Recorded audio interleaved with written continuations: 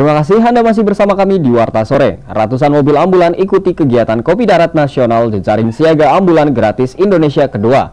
Kegiatan Kopdarnas dilakukan sebagai ajang konsolidasi dan silaturahmi jejaring Sibulan.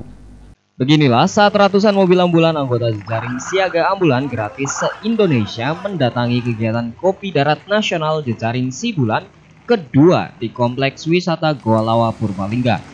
Kegiatan Kopdarnas digelar sebagai upaya konsolidasi dan silaturahmi anggota jejaring Sibulan. Saat kegiatan, sejumlah mobil peserta Kopdarnas juga dicek untuk mengetahui kesiapan perlengkapan dan peralatan operasionalnya. Panitia kegiatan mengatakan, jejaring Sibulan dalam aktivitasnya selalu membantu orang-orang yang tidak mampu secara gratis. Tujuannya adalah untuk menolong warga duafa yang sedang kesusahan karena di antara warga miskin itu yang paling menderita adalah warga miskin yang sedang sakit dan mereka harus bolak-balik ke rumah sakit. Mereka kadang sudah punya jaminan sosial berobat di rumah sakit gratis, tapi antar jemput dari rumah ke rumah sakit belum ada yang nanggung.